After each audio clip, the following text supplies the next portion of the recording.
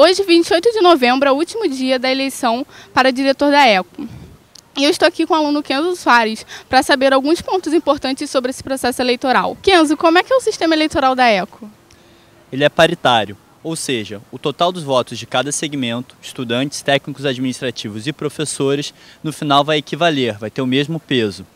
Ou seja, é, independente do número de pessoas que votem, é claro que garantindo um quórum, um número mínimo de pessoas, para que a eleição seja legítima, é, o total dos votos dos alunos tem o mesmo peso que o dos técnicos e o dos professores. Além disso, todo mundo é, que tem a sua matriculativa pode votar. E é bom lembrar sempre que a eleição ainda vai durar até hoje às 8 horas. Então, quem ainda não votou, a gente pede que compareça lá na biblioteca da ECO para ajudar a gente a ter uma nova direção pelos próximos quatro anos.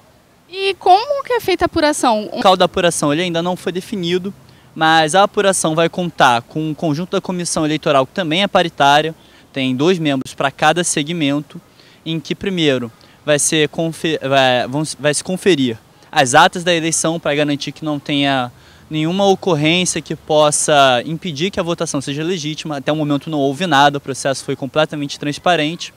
Feita a apuração das atas, é, inicia-se a contagem Cada cédula, cada segmento tem uma cédula específica que é demarcada pela sua coloração, vai se apurar a contagem de votos.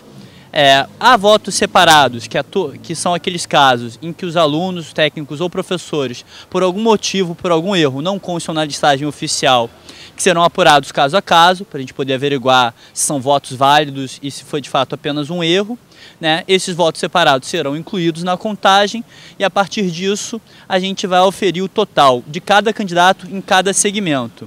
Então passa-se ao cálculo da proporcionalidade.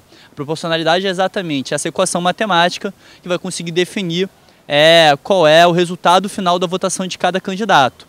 Esse processo pode ser acompanhado por representantes das comissões é, de cada chapa e se tudo der certo, ele vai ser filmado para todo mundo poder acompanhar ele durante o processo, ou se a gente não conseguir o streaming, pelo menos após ele acabar. Muito obrigada. Ivete Silva para o TJFRJ.